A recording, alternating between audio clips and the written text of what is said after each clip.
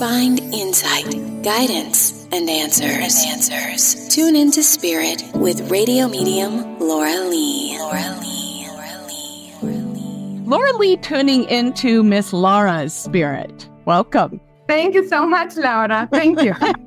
I love how you say our name. I wish I could do that. So beautiful. Where are you calling from? I'm calling from Belgium, Europe, but normally I live in Romania, Europe. Laura, the first impression I'm receiving is I want to call out Mother Mary.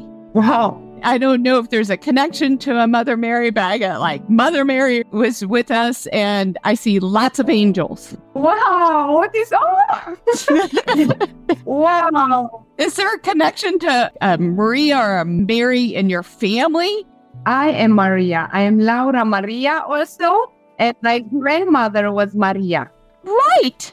Well, she's here with you. She's your guide. She's watching over you. Yes. And she is among all these angels. I feel like she was considered like an angel to you in some ways. But they tell me congratulations because you've accomplished so much. You graduated. You exceed her expectations in so many ways. Wow. I have some yoga certifications and I just changing fully my life. I do a lot of spiritual things. So keeping a lot of old patterns from my family coming to myself and just working. I'm so active in this. And I was thinking sometimes, oh my God, I'm the only one in this family. Yeah, because it's beyond what they would even expect of themselves, right? Yeah. But congratulations because you're working so hard. She sees you working for a corporate office too, like a corporation or a company, another company, but it's not yoga. And you're just pounding away and it's making you sick. It's almost as if it's like I'm seeing you in an office where those lights are flickering overhead and it just makes you Yes, it's my daily job.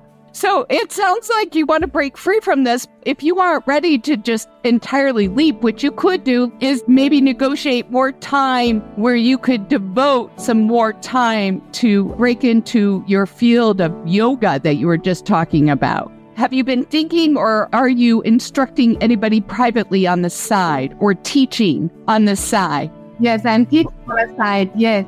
That's a start. And that will grow the more you put your attention on it. So if you can make more room into your life with the yoga, the other job will start to diminish a little bit. Just negotiate your time with your employer. They're starting to do that all over the world. Or you start to devote time after work and being a coach privately for ladies or gentlemen who want yoga in their own home.